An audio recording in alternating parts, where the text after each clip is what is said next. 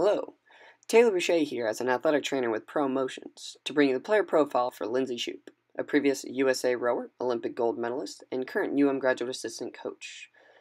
Today we will discuss how her posture, inefficient hip cycle, overactive hips, and excessive knee valgus prevent her from, from performing a snatch from the floor and a power clean to jerk as efficiently as possible.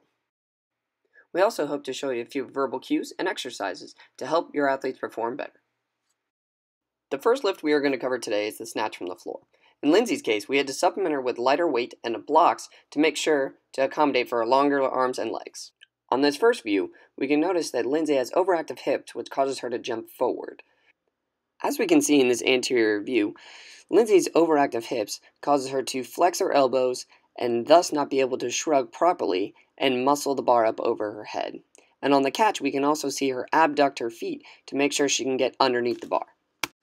While Lindsay also needs to jump more towards the ceiling, she also needs to be careful of her previous tendencies to be a rower. As you can see here, her knees rotate to the right, her hips to the left, and her right arm abducts away from her body.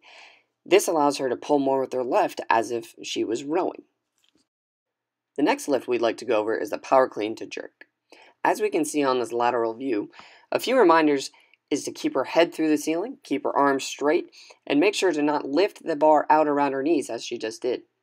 Now we can see that her overactive hips are starting to take over again, which all started from her lifting that bar around her knees, which causes her elbows to flex, her head to actually go back towards the wall, and thus swinging that bar out and over around, which allows her to muscle up the bar for the catch which we can see has too much knee flexion without hip flexion, thus leading to a poor hip cycle.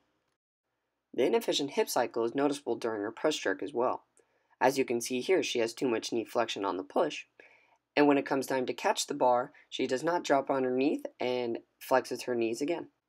As we can see in this anterior view again, her inability to shrug properly also causes her to flex her elbows, and we can also notice here that possibly performing the movement in a more explosive manner will allow her to move the bar more efficiently. On the posterior view, we need to remind Lizzie to again keep her knees out as she pulls up and make sure to pull evenly through the bar. Here we can see that she actually does a good job of pulling more with her left shoulder, but not as much with her right shoulder. Still showing a little bit of elbow flexion, which causes a swing of bar out and around again. As we come into the push jerk, we can again see her inefficient hip cycle as her knees cave in. This instability with her knees actually doesn't allow her to get underneath and catch the bar properly. Now that we've analyzed Lindsay's lifts, it is also important to provide corrective exercises so she can improve. One of which is a dumbbell shrug, or a dumbbell shrug with a jump, both of which are very good at teaching her to shrug properly.